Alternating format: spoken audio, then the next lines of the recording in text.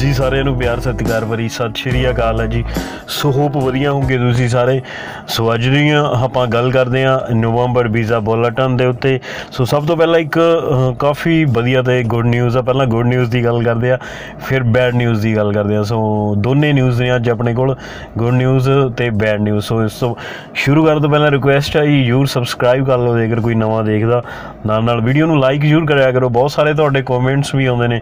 ਕੁਝ negative comments ਵੀ ਕਰ ਕਰਦੇ ਨੇ ਕਿ ਤੁਸੀਂ ਦੇਖੋ ਜੋ ਚੱਲ ਰਿਹਾ ਹੈ ਹਨਾ, ਮੈਂ ਕੋਈ ਤੁਹਾਡੇ ਨਾਲ ਕੋਈ ਫੇਕ ਨਿਊਜ਼ ਆ ਆਪਣੇ ਕੋਲੋਂ ਕੁਝ ਨਹੀਂ ਸ਼ੇਅਰ ਕਰਦਾ। ਲਾਈਕ ਜੋ ਵੀ ਚੱਲ ਰਿਹਾ, ਉਹ ਮੈਂ ਤੁਹਾਡੇ ਨਾਲ ਸ਼ੇਅਰ ਕਰਦਾ ਤਾਂ ਕਿ ਤੁਸੀਂ system to up to up to date ਰਹੋ, ਹਨਾ। ਲਾਈਕ ਬਹੁਤ ਸਾਰੇ ਕਮੈਂਟਸ ਇਦਾਂ ਹੁੰਦੇ ਕਿ ਵੀ ਕੁਝ ਨਹੀਂ ਹੋਣਾ ਯੂਐਸ ਦੀ ਇਮੀਗ੍ਰੇਸ਼ਨ ਦਾ ਸੋ ਹੁਣ ਕਰਨਾ ਤਾਂ ਇਹਨਾਂ ਨੇ, ਹਨਾ, ਜੋ ਸਿਸਟਮ ਆ, ਜੋ ਵੀ ਆ, ਜੋ ਵੀ ਇਹਨਾਂ ਨੇ ਟਰਾਈ ਕਰਨੀ ਆ, ਜਾਂ ਪੋਲੀਟੀਕਲ ਸਿਸਟਮ ਆ, ਦੋਨਾਂ ਪਾਰਟੀਆਂ ਦਾ ਆਪਣਾ ਆਪਣਾ ਪੋਲੀਟੀਕਲ ਇਸ਼ੂ ਵੀ ਹੁੰਦਾ।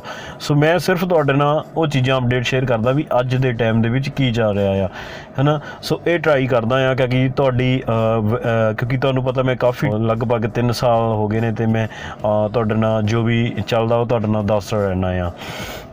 ਕੁਝ ਨਵੇਂ ਫੋਲੋਅਰਸ ਆਉਂਦੇ ਨੇ, ਉਹ ਇਦਾਂ ਦੇ ਕੁਝ ਕਮੈਂਟਸ ਹੁੰਦੇ ਨੇ।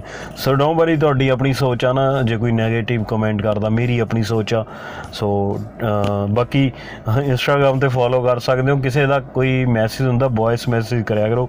ਪਲੀਜ਼ ਮੈਨੂੰ ਚਾਟ ਮੈਸੇਜ ਨਾ ਕਰਿਆ ਕਰੋ। ਸੋ ਪਹਿਲਾਂ ਆਪਾਂ ਗੱਲ ਕਰੀਏ ਅੱਜ ਦੀ ਪਹਿਲਾਂ ਗੁੱਡ ਨਿਊਜ਼ ਦੀ ਗੱਲ ਕਰਦਾ ਆ ਮੈਂ। ਗੁੱਡ ਨਿਊਜ਼ ਦੇ ਵਿੱਚ ਇਦਾਂ ਆ, ਜਿਹੜਾ ਮੈਂ ਤੁਹਾਨੂੰ ਟਰੈਵਲ ਬੈਨ ਕਹਿ ਰਿਹਾ ਸੀਗਾ ਨਵੰਬਰ ਦੇ ਵਿੱਚ ਐਰਲੀ ਨਵੰਬਰ ਓਪਨ ਹੋਊਗਾ। ਸੋ ਉਹਦੇ ਵੱਲੋਂ ਵਾਈਟ ਹਾਊਸ ਵੱਲੋਂ ਜਿਹੜੇ ਇਹਨਾਂ ਦੇ ਮੈਂਬਰ ਨੇ, ਇਹਨਾਂ ਨੇ ਜਿਹੜਾ ਟਵੀਟ ਕੀਤਾ ਆ ਵੀ ਜਿਹੜਾ 8 ਨਵੰਬਰ ਤੋਂ 8 ਨਵੰਬਰ ਤੋਂ ਯੂ ਐਸ ਏ ਜਿਹੜਾ ਇੰਟਰਨੈਸ਼ਨਲ ਲੈਵਲ ਤੇ ਖੁੱਲ ਰਿਹਾ ਹੈ। ਲਾਈਕ ਜਿੰਨੇ ਵੀ ਕੈਨੇਡਾ ਤੋਂ ਆਉਣਾ, ਤੁਸੀਂ ਮੈਕਸੀਕੋ ਤੋਂ ਆਉਣਾ, ਇੰਡੀਆ ਤੋਂ ਆਉਣਾ ਜਾਂ ਕਿਸੇ ਵੀ ਵਰਲਡ ਦੀ ਕੰਟਰੀ ਤੋਂ ਆਉਣਾ, ਜਿਹੜਾ ਟਰੈਵਲ ਬੈਨ ਆ, ਉਹ 8 ਨਵੰਬਰ ਤੋਂ ਅਮਰੀਕਾ ਦਾ ਖੁੱਲਣ ਜਾ ਰਿਹਾ ਆ। ਸੋ ਮਤਲਬ ਜੇ ਕਿਸੇ ਨੇ ਟੂਰਿਸਟ ਵੀਜ਼ੇ ਤੇ ਆਉਣਾ ਜਾਂ ਕਿਸੇ ਵੀ ਤੁਸੀਂ ਤੁਸੀਂ ਫੁੱਲੀ ਵੈਕਸੀਨੇਟਡ ਜ਼ਰੂਰ ਹੋਣੇ ਚਾਹੀਦੇ ਹੋ। ਇਹ ਚੀਜ਼ ਦੇ ਵਿੱਚ ਇਹਨਾਂ ਨੇ ਜ਼ਰੂਰ ਮੈਂਸ਼ਨ ਕੀਤਾ ਹੈ। ਬਾਕੀ ਜਿਹੜੀਆਂ WHO ਵੱਲੋਂ ਅਪਰੂਵ ਨੇ ਵੈਕਸੀਨਸ ਉਹ ਲੱਗੀਆਂ ਹੋਣ, ਕੋਈ ਦਿੱਕਤ ਨਹੀਂ ਹੈਗੀ। ਸੋ ਇੰਡੀਆ ਦੀ ਕੋਵਿਸ਼ੀਲਡ ਵੀ ਇਹਦੇ ਵਿੱਚ ਮਤਲਬ ਇਹਨਾਂ ਵੱਲੋਂ ਅਪਰੂਵ ਕੀਤੀ ਗਈ ਹੈ, WHO ਵੱਲੋਂ। ਸੋ ਇੱਕ ਚੰਗੀ ਨਿਊਜ਼ ਆ, ਬਹੁਤ ਸਾਰੇ ਟਾਈਮ ਤੋਂ ਵੇਟ ਕਰਦੇ ਸੀਗੇ ਕਿਉਂਕਿ ਕਾਫੀ ਟਾਈਮ ਦਾ ਬਾਕੀ ਸਾਰੀਆਂ ਕੰਟਰੀਜ਼ ਖੋਲ ਰਹੀਆਂ ਨੇ ਬਟ ਅਮਰੀਕਾ ਨੇ ਟਰੈਵਲ ਬੈਨ ਪ੍ਰੋਪਰਲੀ ਨਹੀਂ ਖੋਲਿਆ ਸੀ। ਹੁਣ ਤੁਸੀਂ ਨਵੰਬਰ ਦੇ ਵਿੱਚ ਟੂਰਿਸਟ ਵਿਜ਼ਟਰ ਜਾਂ ਤੁਸੀਂ ਆਪਣੇ ਭੈਣ ਭਰਾ ਨੂੰ ਮਿਲਣਾ ਜਾਂ ਕੋਈ ਵੀ ਤੁਹਾਡਾ ਵੀਜ਼ਾ ਤੁਸੀਂ ਈਜ਼ੀਲੀ ਮੂਵ ਹੋ ਸਕਦੇ, ਚਾਹੇ ਕੈਨੇਡਾ ਤੋਂ, ਚਾਹੇ ਤੁਸੀਂ ਇੰਡੀਆ ਤੋਂ, ਚਾਹੇ ਪਾਕਿਸਤਾਨ ਤੋਂ।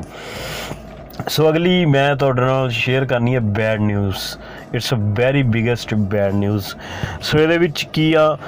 ਜਿੱਦਾਂ ਤੁਹਾਨੂੰ ਪਤਾ ਹੈ ਵੀ ਅਕਤੂਬਰ ਦੀ ਵੀਜ਼ਾ ਬੁਲੇਟਿਨ ਅਪਡੇਟ ਹੋਈ ਸੀ। ਸੋ ਉਸੇ ਤਰ੍ਹਾਂ ਨਵੰਬਰ ਦੀ ਹਰ ਮੰਥ ਤੁਹਾਨੂੰ ਪਤਾ ਵੀਜ਼ਾ ਬੁਲੇਟਿਨ ਅਪਡੇਟ ਹੁੰਦੀ ਹੈ, ਜਿਹੜੇ ਤੁਹਾਡੇ ਕੁਐਸਚਨ ਹੁੰਦੇ ਨੇ। F1 2 F2A F2B so like F3 ਜਾਂ ਲਾਈਕ F4 ਸੋ ਇਹ ਸਾਰੀਆਂ ਕੈਟਾਗਰੀਜ਼ ਹਨ, ਜਿੱਦਾਂ ਹੁੰਦੀਆਂ ਨੇ। ਇਹਦੀਆਂ ਜੋ ਵੀ ਡੇਟਸ ਅਕਤੂਬਰ ਦੇ ਵਿੱਚ ਚੱਲ ਰਹੀਆਂ ਸੀ ਸੇਮ ਨਵੰਬਰ ਦੇ ਵਿੱਚ ਉਹੀ ਵੀਜ਼ਾ ਬੁਲੇਟਿਨ ਇਹਨਾਂ ਨੇ ਦੁਬਾਰਾ ਅਪਡੇਟ ਕੀਤੀ ਆ। ਮਤਲਬ ਮਤਲਬ ਕੋਈ ਮੂਵ ਨਹੀਂ ਹੈਗਾ ਕਿਸੇ ਵੀ ਕੈਟਾਗਰੀ ਦੇ ਵਿੱਚ ਫੈਮਿਲੀ ਸਪਾਂਸਰ ਦੇ ਵਿੱਚ।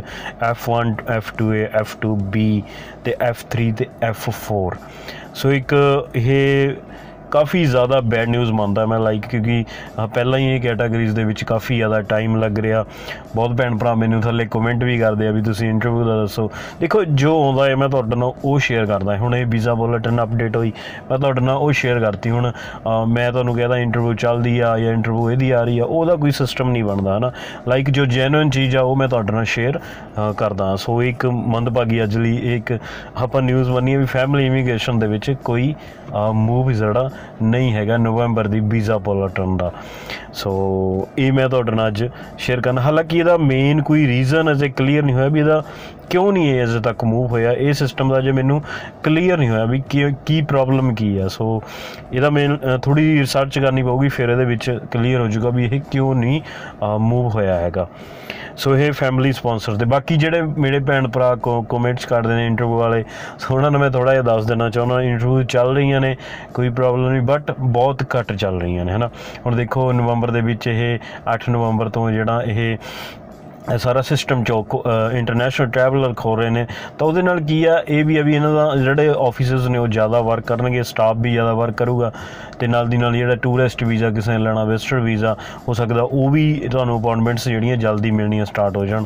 ਸੋ ਤੁਹਾਡੇ ਇਮੀਗ੍ਰੈਂਟ ਵੀਜ਼ਾ ਦੀਆਂ ਵੀ ਇੰਟਰਵਿਊਜ਼ ਹੋਰ ਵੱਧ ਜਾਣ। ਸੋ ਇੱਕ ਚੰਗੀ ਸੰਭਾਵਨਾ ਕਿਉਂਕਿ ਨਵੰਬਰ ਦੇ ਵਿੱਚ ਯੂ ਐਸ ਜਿਹੜਾ, ਦੁਬਾਰਾ ਆਪਣਾ ਟਰੈਵਲ ਬੈਨ ਇੰਟਰਨੈਸ਼ਨਲ ਲੈਵਲ ਤੇ ਖੋ ਰਿਹਾ। ਸੋ ਇਹ ਇੱਕ ਗੁੱਡ ਨਿਊਜ਼ ਵੀ ਹੈ ਨਾਲ ਦੀ ਨਾਲ। ਸੋ ਦੋਨੇ ਇਹ ਅੱਜ ਲਈ ਇਹੀ ਨਿਊਜ਼ ਸੀਗੀਆਂ। ਸੋ ਤੁਹਾਨੂੰ ਵਧੀਆ ਲੱਗੀ ਹੋਣੀ। ਚੰਗਾ ਜੀ। ਸਤਿ ਸ਼੍ਰੀ ਅਕਾਲ।